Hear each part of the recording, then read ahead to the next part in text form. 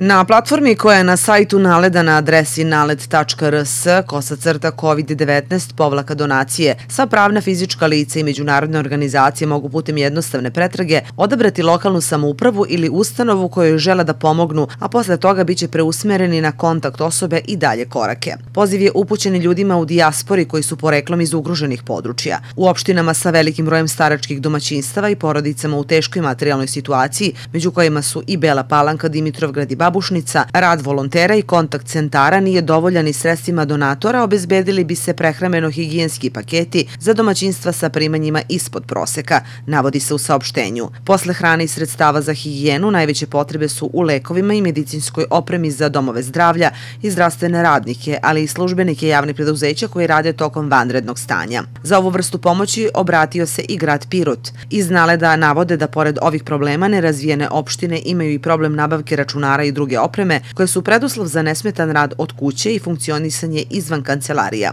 Na ovaj način želimo da povežemo lokalne samouprave i zdravstvene ustanove sa društveno odgovornim kompanijama i pojedincima koji tu pomoć mogu da pruže, kaže izvršna direktorka Naleda Violeta Jovanović. Naled je vladi Srbije uputio inicijativu za uspostavljanje fonda za podršku ugroženim opštinama i gradovima kao i uvođenje dodatnih podsticaja za osnivanje preduzetničkih radnji imajući u vidu da su porezi na prihode od samostalne delatnosti ključni lokalni prihodi navodi se u saopštenju Naleda.